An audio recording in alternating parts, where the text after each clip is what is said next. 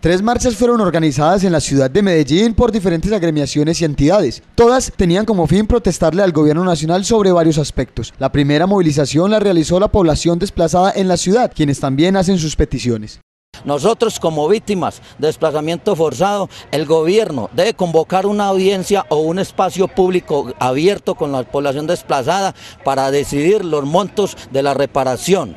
Nosotros somos los que decimos los montos, no el gobierno, ni los congresistas, ni, ni, las instituciones como Acción Social, que es la que violenta grandemente nuestros derechos. Con motivo del Día Internacional del Trabajo Decente, la Central Unitaria de Trabajo CUT convocó a varias agremiaciones a marchar a las 10 de la mañana y reiterar algunas exigencias. El presidente de la CUT Antioquia resume los objetivos.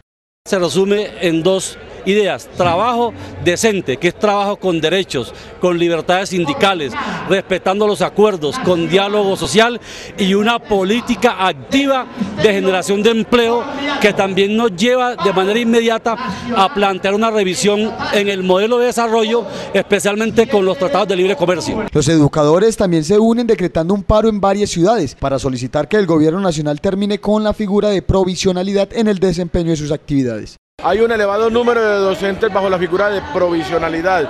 Se hace necesario el nombramiento de otros maestros como los etnoeducadores, los maestros en las comunidades indígenas, los maestros de preescolares, eh, los maestros también de los centros de educación física, que son necesarios para una buena calidad de la educación. Una tercera marcha fue cancelada por la Policía Metropolitana. La iban a realizar estudiantes de las universidades públicas. La Secretaría de Gobierno dio el aval, pero porque la marcha se extendía esta mañana, las autoridades optaron por no entregar el permiso de seguridad.